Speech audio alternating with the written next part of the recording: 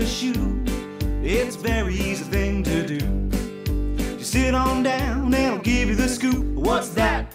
It's called the loop de loop. You gotta take a lace in each hand.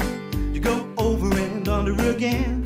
You make a loop de loop and pull, and your shoes are looking cool.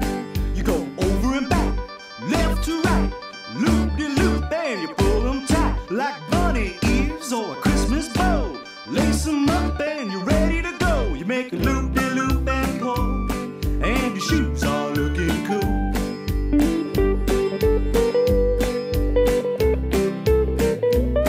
You make a loop de loop and pull, and your shoes are looking cool.